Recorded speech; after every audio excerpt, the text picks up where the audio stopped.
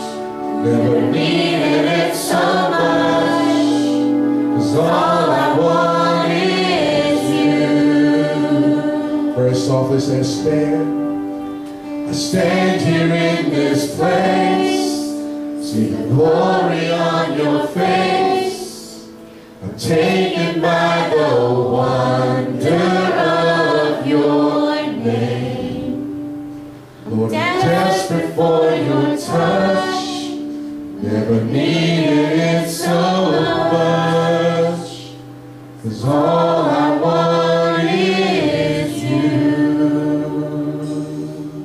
Can you cry out to him this morning? Can you give a shout of praise? The splendor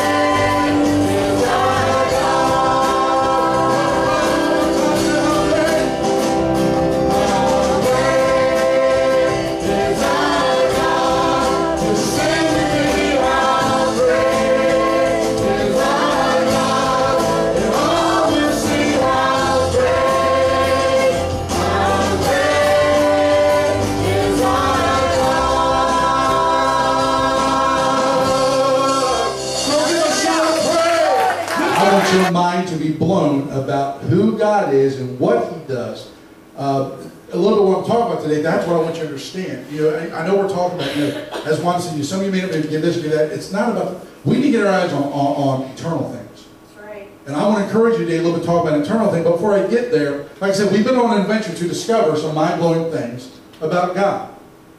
So again, I, again, I hope, hope you've been looking at some things a little differently as we've been going through these messages, just looking at things in different ways. But again, what does the Bible say about the awesomeness of God, about the mind-blowingness of God?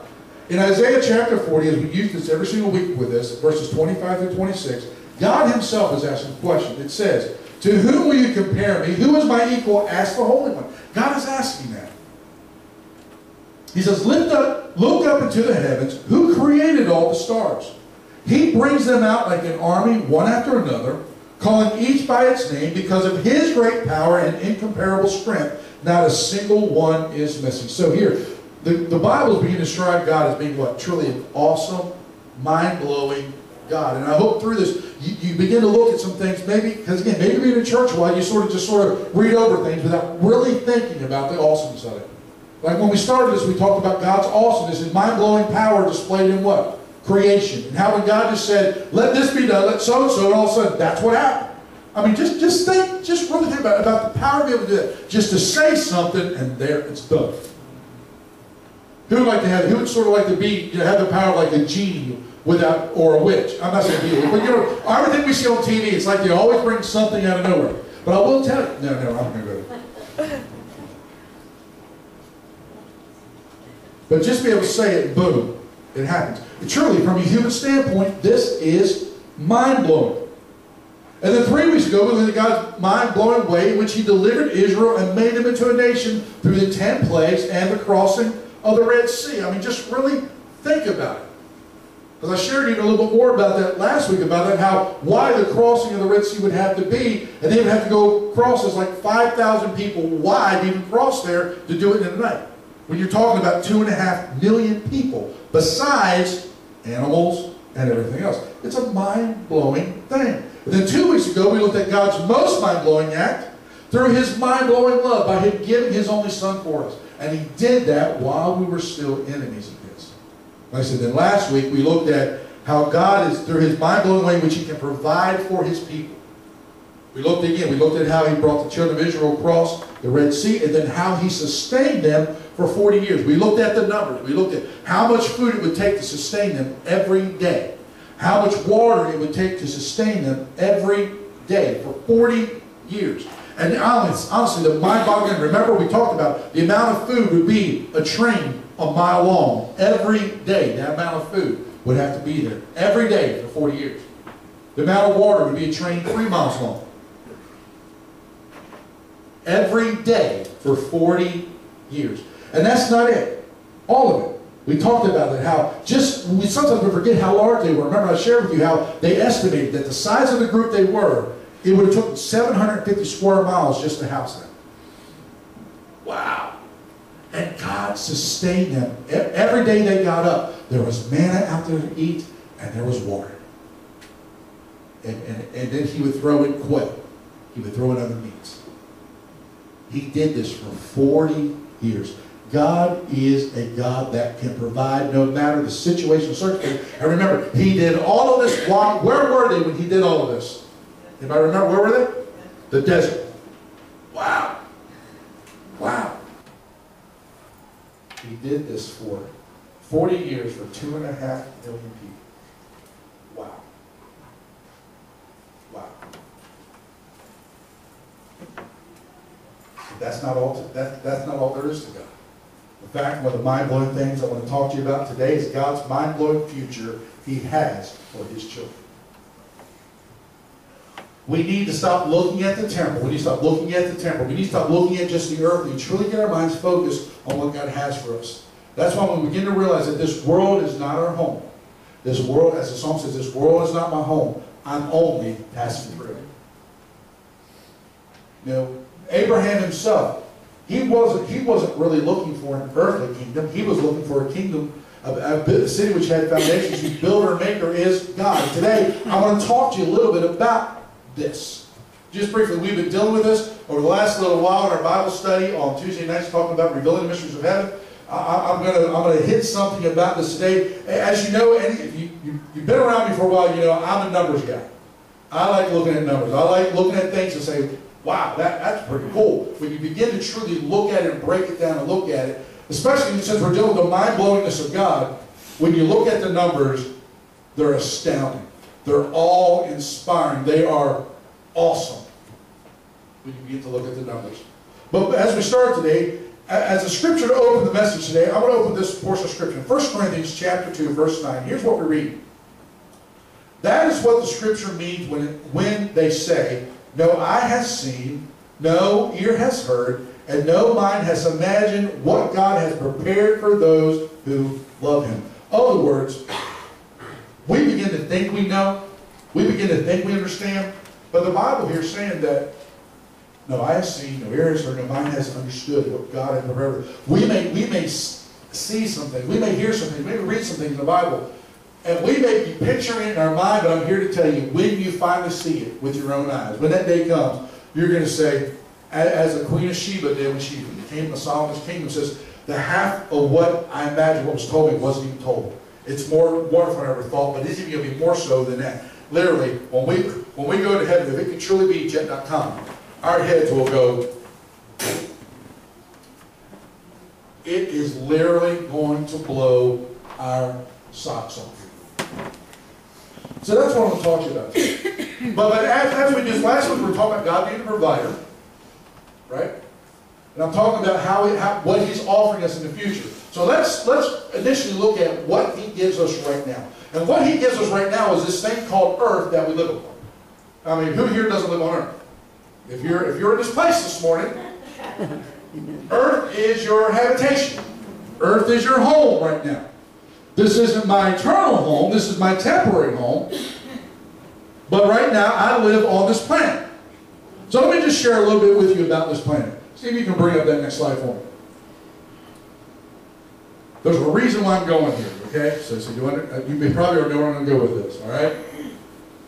The total surface area of Earth is roughly 196 million 900,000 square miles. So in other words, if you figure up all the surface, counting the water, the land, and everything, there's almost 200 million square miles of surface area on the earth.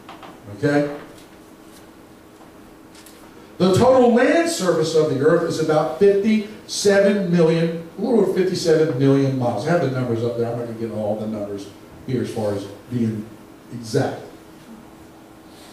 of which 33% of those square miles is desert. 20, and about 24% is mountainous. So subtracting the uninhabitable 57%, which is roughly 32.5 million miles, from the total land leaves about 24, a little over 24 million miles for everyone to live in. That's the inhabitable land. After you remove the deserts, because how many know deserts aren't really favorable to human life. You can live out there for a little while, but as far but again, it, it's not really inhabitable. And how many knows no one lives on the top of Mount Everest? Many of these mountaintops that are ice covered or snow covered, people don't usually live up there all year round. They might live somewhat close to it, things like that, but they don't. So, so they came down with what what's considered habitable land, let alone we have a continent down on the southern hemisphere of our planet, which is they have some people living there, but probably about 100 or 200. They're in, a, they're in a research facility. That's about it. They're really not living there. It's just a temporary stay. But we have a whole continent that's completely uninhabitable. Okay? But, it, but, you know, we have about 24, 24, 24 and a half million square miles of inhabitable land space, which is about uh, over, almost 16 billion acres of inhabitable land. So, if every person alive on the earth right now, right now, was to be given their, their equal share of land, it would equal, but everybody would get on the earth would get about two acres to live Okay? So, this is this is the ball that God has placed us on, and He's fixed this thing up to first. And there's a reason why I'm showing, sharing you all this because we all know, we know how big the earth is for us. Again, it's, yes, we know it's small compared to other things in the solar system. It's definitely small compared to the things in our galaxy, and it's definitely small in comparison to the universe. But this is where we live. And this is what God has prepared. Now, I want, I want to I want to compare it now to what this is what God has prepared, what we're on now, but I want to compare it to what He's has in store for us, okay? Now, here's what we're going to read. Revelation chapter 21, verses 10 through 17, here's what we read. So he took me in the spirit to a great high mountain, and he showed me the holy city Jerusalem descending out of heaven from God.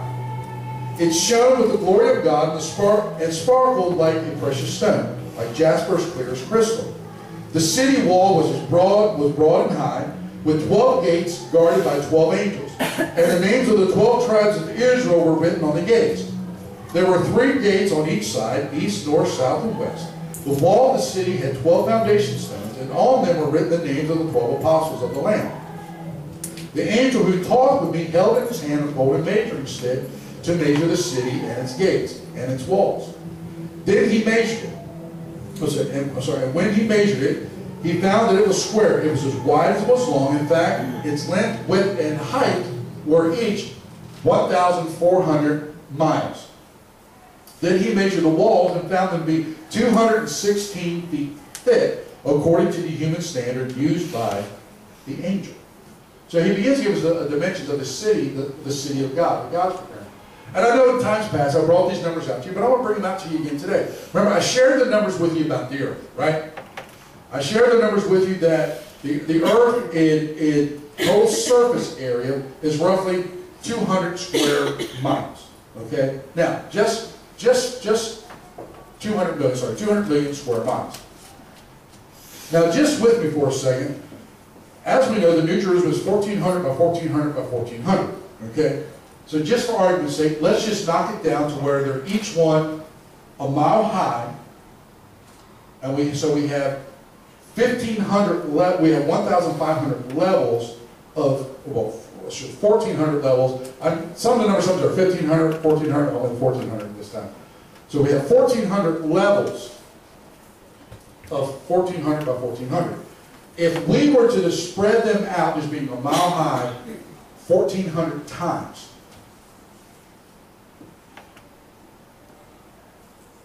Hold that next one for me. Oh, wait, oh, go ahead, hit it, hit it again. This would be, first of all, this would be New Jerusalem in comparison to the United States. Just from one, if you're just looking at just from just square footage this way, just from the 1400 by 1400.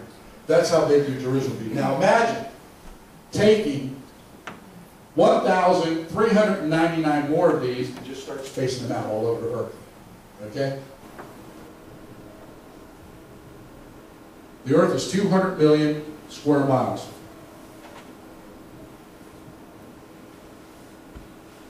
If we were to do this with the New Jerusalem, just take it one mile high, and do that, this would be the number. I think I have one, let's see. 2.7 billion square miles. If you were to take each one and just knock it down to one level, so you did 1,400 levels all the way around, at 1,400 by 1,400, it would be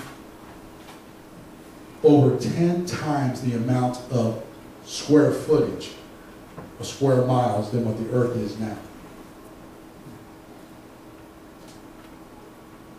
And then, if we broke it down, since I told you about this, remember I told you if everybody living now was given land um, for an habitable, you know, for that, from the acreage, you would get like two acres. The amount of acreage would be in the trillions. 1.7 trillion square acres that way. And each person living now would receive 234 square acres. Instead of two square acres, we would receive over 100 times the amount.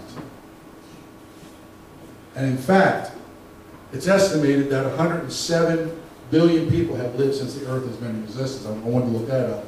And if you were to look at it that way, they would have 16 square miles, I mean 16 square acres each, which, anybody know what, an acre is? It's 210 feet by 210 feet. So imagine 234 of them for people are alive now. That's for everybody on the planet. That's for seven. That's for seven and a half billion people. But yet, if we took it to, to, to everybody who's ever lived, everybody who's ever lived to have 16 acres each, 16 square acres. Wow. That's, that's a lot. But yet, if you were to take New Jerusalem and break it down, that's how that's how big it would be. But that's it. Okay, well, you can say, well, your pastor, maybe that, that's not thing. Well, and I looked it up and I said, well, how tall, how big is the Earth atmosphere? How far is it from land to where you consider being outer space? Anybody know how, what that distance is? From land to outer space. 62 miles. When you, when you leave the surface of the Earth to truly be what's considered to be outer space, to leave the atmosphere of the Earth, it's 62 miles up. So I said, okay, well, let me do this. Let me divide 62 into that. And when I did, we went from having 1,400 levels. Oh, we want to keep this thing about New Jerusalem spaced out like it would be Earth, right? It went from being 1,400 levels to be, I think the number was, I think it was 23. 23 levels. But yet, when you multiply 23 levels by what was left over the square footage, it's still equal to be 44 million square miles, which is still 20 million more square miles than the habitable land we have right now. This is what God's preparing to just the city. I don't know exactly how New Jersey to be set up. I don't know if we're going to be in, in layers. I mean, I don't know if we're all going to be sort of like like like inside the board where we're just living on the outside through the center that's 1,400 miles. I, I don't know. All I know is I'm just trying to put the numbers out to you of how big this thing is. Okay? And trying to break it down for you to really look at this. And this is something that, that God uh, is preparing for us. See, but, but not only see, but not only is He preparing New Jerusalem for us, but listen to what he tells us about the rest of the earth. Okay? So when New Jerusalem comes down, he's not getting rid of the earth. The earth will still be in existence, but he's going to do something to the earth. Listen to what it is. In Revelation 21, verses 1 through 5, we read this. Then I saw a new heaven and a new earth. So all of a sudden, what? Forget something new. The old heaven and the old earth had disappeared, and the sea was also gone. And I saw the holy city, New Jerusalem, coming down coming down from God out of heaven like a bride beautifully dressed for her husband. And I heard a loud shout from the throne saying, Look, God's home is now among his people. He will live with them, and they will be his people, and God himself will be with them. He will wipe away every tear. Well, first off, he's promising what? That he's going to be with us now. We're going to, you know, no longer are we just going to have to get down on our knees and, and, and, and, and believe that he hears our prayer. We're going to be able to see him face to face. We're going to be able to carry on a conversation with him face to face. I mean, whoa. Imagine, you imagine just talking to God face to face. Literally, him sitting there saying, Yvonne, how was your day? What'd you do?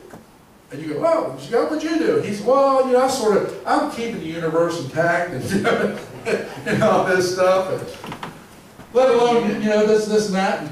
But, but just think about it, just truly be able to just talk to him face to face. That, that's literally, because it says here that he's going to be with his people. God himself will be there. He'll be with them. His home is now among his people. But listen what also says. He says, and he will wipe away every tear from their eyes. And there will be no more death, nor sorrow, or crying, or pain. All these things are gone. For how long? Forever. All these things are gone forever. And the one sitting on the throne said, Look, I am making everything new. What's he making new? I'm making everything new. And then he said to me, write this down, for what I tell you is trustworthy and true. In other words, you're saying what? It's going to happen. This is the way it's going to be. The same as when at creation, when he said, let there be light, and there was. When he said, let there be this and that, and there was. The same as he's saying here, what I'm telling you is trustworthy and true. So guess what? What he's saying here, it is going to happen. But he doesn't stop there.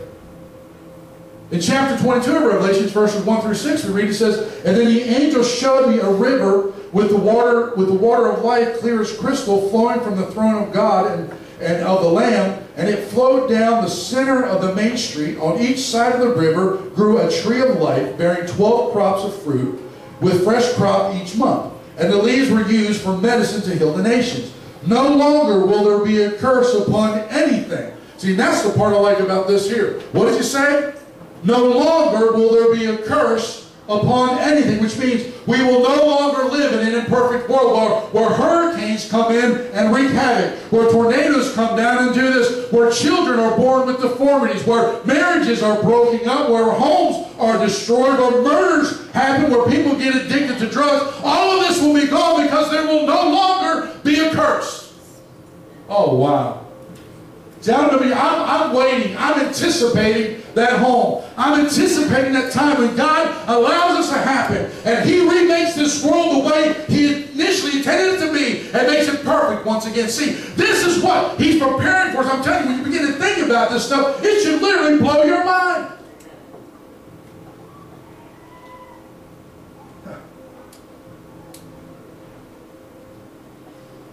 There will no longer be a curse upon anything, for the throne of God and the Lamb will be there, and his servants will worship him. And they shall see his face, and his name will be written on their foreheads. Hey, when that day comes, people are going to know we're Christians. We can't be no undercover ones at that time. Bottom line is his names are written on our forehead. Talk about somehow, some way, it's going to be across our heads. And there will be no night there. So some of you might get upset. Guess what? You're not going to sleep in heaven. You're not going to sleep in the New Jerusalem. You won't need it either. There will be no night there, no need for lamps or sun, for the Lord will shine on them, and they and they will reign forever and ever. And the angel said to me, Everything you have heard and seen is trustworthy and true, and the Lord God who inspires his prophets has sent his angel to tell his servants what will happen soon. And I just have written down here, I said, Can you just say, wow? Wow. God has an awesome future awaiting us. Now again, I don't know about you, but I can't wait. I cannot wait to see it come to pass. I have a couple verses, more verses I want to read here to you. And again, I'm talking about this awesome future that God has for us.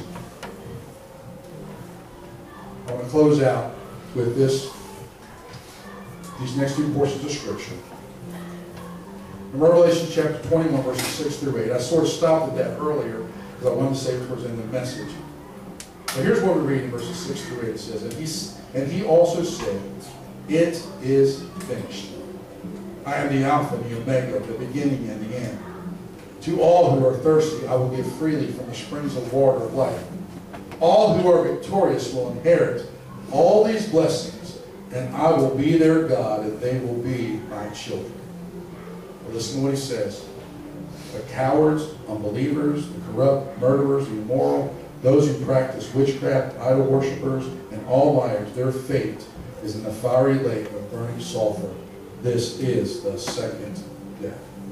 The thing is, I don't want to be part of the second death. I want to be part of the resurrection. Amen. Amen. Amen. Because it's those those who are part of the resurrection are those who are going to get to see and be part of this heavenly city that we're talking about, this heavenly kingdom, how God's going to come in and remake this world. We're going to be who are a part of that. And I have here, oh, what a mind-blowing promise from God. But then the last portion of Scripture I want to read is the last verses in the Bible. And here's what it says. Look, I am coming soon, bringing my reward with me to repay all people according to their deeds. I am the Alpha and the Omega, the first and the last, the beginning and the end. Blessed are those who wash their robes. They will be permitted to enter through the gates of the city and eat the fruit from the tree of life. Amen. Outside the city are the dogs, the sorcerers, the sexually immoral, the, the, the murderers, the idol worshippers, and all who love to live a lie. I, Jesus, have sent my angel to give you this message for the, for the churches. I am both the, the source of David and the heir to his throne. I am the bright morning star. The Spirit and the bride say, Come. Let everyone who hears this say, Come. Let anyone who is thirsty come. Let anyone who desires drink freely from the water of life. And I solemnly declare to everyone who hears the words of this prophecy written within this book, If anyone adds anything to what is written, written here, God will add to that person the plagues described in this book. And if you, you want to find out what that is, start to read Revelations. You, you don't want this stuff, okay? If anyone removes any of the words from this book of prophecy, God will remove that person's share in the tree of life and in the holy city that are described in this book. He who is faith, who, he who is the faithful witness to all these things say, Yes, I am coming soon. Amen. Come, Lord Jesus.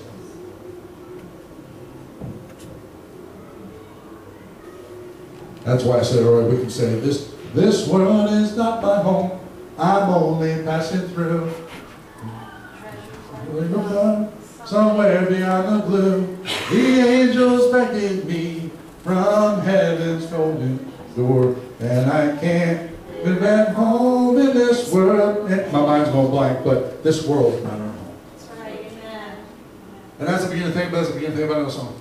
Oh, what glory awaits me in heaven's bright city. Mm-hmm. They talk about how Jesus will outshine them all. Even though we, we all the stuff about this city that God has prepared and how the- God's going to make this world new. The greatest thing about all of it isn't going to be the city of gold. Because if you begin to read about New Jerusalem, it's, it's gold that is so pure that it's transparent. Wow. I mean, I'm, have anybody ever seen transparent gold? No.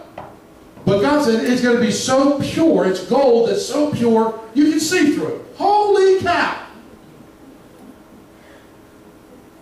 Wow! I mean, I mean, really, just, just let that sink in for a second. But yet, that's not going to be what makes New Jerusalem of any value. It's going to be about God Himself, the Father, and the Lamb, Jesus Christ, being there. That's why that songwriter can write that Jesus will outshine them all. It's all. It, it has been, it is, and it always will be about Jesus. Amen. And because of Jesus, this is what God the Father is preparing for us. This is what's going on. This is what He's making ready for us right now. All we have to do is buckle our seatbelts up, hold on, grab on to Him, and keep on understanding that He is the Almighty God, and go out and go out in, in His name as much as we can, and declare the love of Jesus Christ to everybody we come in contact with. Because hey, we have nothing to lose. Because if this is what He has in store for us, what are you worried about? Let's be real. What are we worried about?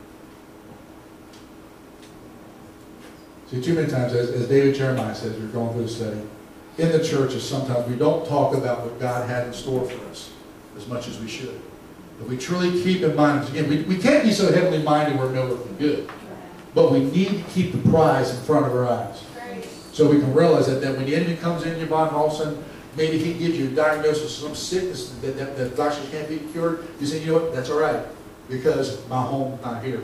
That just means I get to meet my Lord a little bit sooner. But until that day, I'm going to work for him.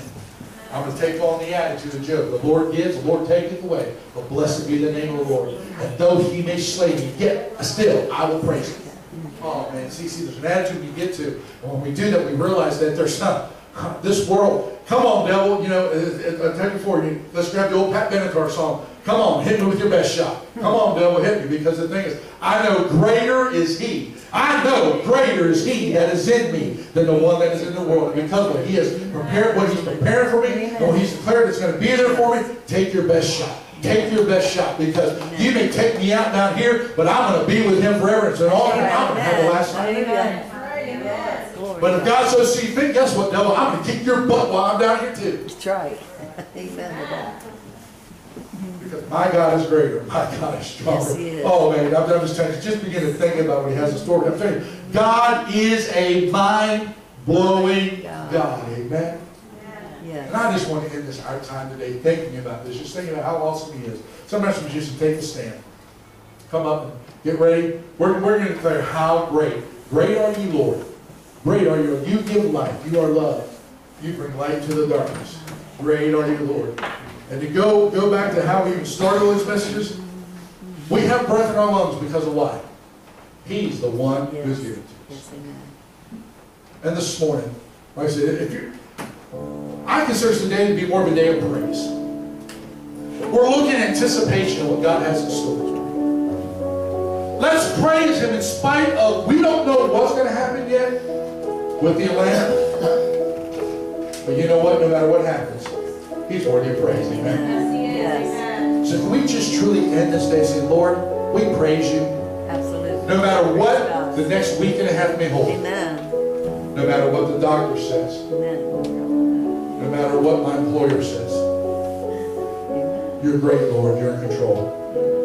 And I'm going to praise you in spite of the storm. We need to praise him before it comes. Yes. We need to praise him if and when it shows up because this storm may not come, but I'm telling you, so we're in the future because we live, because we live in an imperfect world, because there's a curse upon this world because of sin. Guess what? A hurricane's going to land again in the United States somewhere in the future. Even if the rapture takes place during tribulation, I'm sure some of this stuff's going to happen. An earthquake's going to happen. A tornado's going to happen. A disaster's going to happen because the curse is still here. But one day, one day, one day, God declares there will be no curse. Amen. Oh, man. So let's get our praise on now. Can we do that? Let's get our praise on now. Will you stand with us?